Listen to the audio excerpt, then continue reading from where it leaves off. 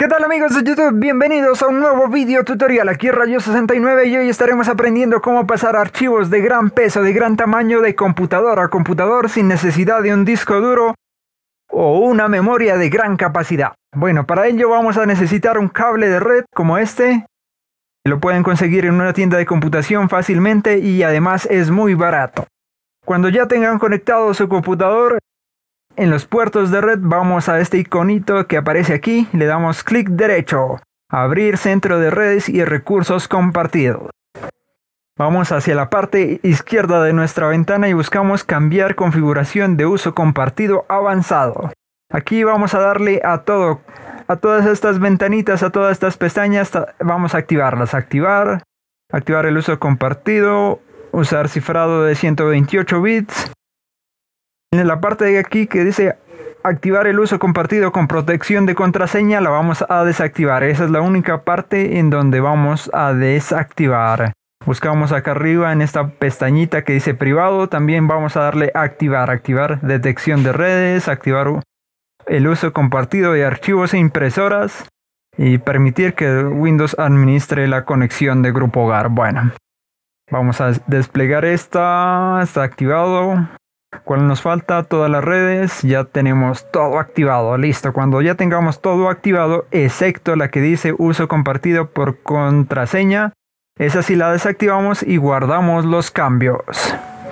Allí tenemos, no le hagan caso a esto, que esto es mi conexión a internet que no tiene nada que ver por el momento.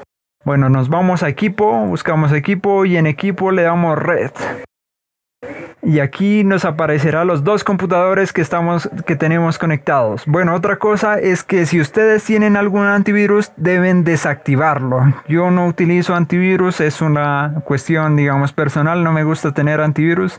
Pero si también eh, tienen Firewall o Windows Defender, vamos a desactivarlo. Buscamos Firewall en aplicaciones, vamos a Firewall y lo de aquí donde dice activar o desactivar Firewall le van a decir que lo desactive. Esto es nada más por pasar los archivos y cuando terminen de pasar los archivos ya lo pueden volver a activar. Vale, Windows Defender hacen lo mismo. Igual buscan Windows Defender. Vamos aquí, Windows Defender. Y dice que Windows Defender está desactivado. Listo, cuando ya tengan desactivado su antivirus, el Firewall y el Windows Defender, ya podrán ver en opciones de red lo que es los dos computadores. Este computador se llama MRF y el otro KDR PC. Así es que vamos a ir a KDR. Aquí está y nos dice que no tenemos conexión. Bueno, vamos a esperar unos un momento si no les funciona lo que deben de hacer es conectar y volver, desconectar y volver a conectar su cable. Vamos a hacer eso, vamos a irnos, vamos a cerrar esta ventana y vamos a volver a conectar el cable. Como pueden ver aquí ya parece que no tiene ninguna conexión y vamos a volver a conectar el cable. Ya debería de aparecer, bueno, no sé por qué no, no me lo estaba leyendo. Ahí está, ya Aquí le ponen el eh, puntero sobre el icono y les va a decir que está identificando. Esperamos unos segundos que eso no demora mucho. Vamos otra vez a, equipo. Buscamos aquí en la parte de abajo lo que es red. Y ya nos aparece que nuevamente tenemos conexión. Bueno, le di actualizar, va a actualizar. Vamos, vamos, vamos, actualiza. Y allí está actualizado. Bueno, demoró un poco, por eso he tenido que cortar el video, pero aquí tenemos lo que es mi computador, que es este, y KDR, que sería el otro computador. Así es que vamos, lo abrimos, acceso, y aquí tenemos lo que es el acceso público del otro computador, como ustedes pueden mirar acá en la parte de, arriba. Bueno, vamos a ver eh, en el otro computador, vamos a irnos a lo que es equipo, bueno, ¿dónde está equipo? Equipo, equipo, vamos a abrir una ventanita aquí. Nos vamos a equipo y otra vez buscamos lo que es red. Aquí aparece el computador que es mío, que se llama MRF. Vamos a abrirlo.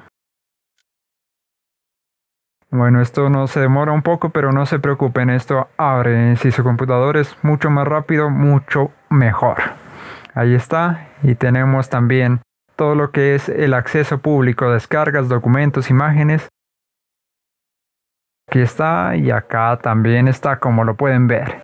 Así es que simplemente para transferir los archivos se van donde tengan sus archivos, los copian y directamente los pegan en el otro computador. Por ejemplo, vamos a irnos aquí donde dice juegos y vamos a buscar un juego. A ver, eh, Call Duty Black Ops 3.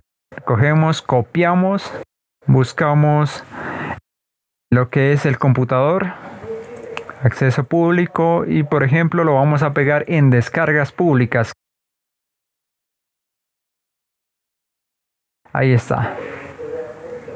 Ah, bueno, el otro computador no tiene espacio suficiente. Ah, de eso deben verificar que tengan espacio suficiente. Así es que no vamos a pegar eh, un juego, vamos a copiar una película.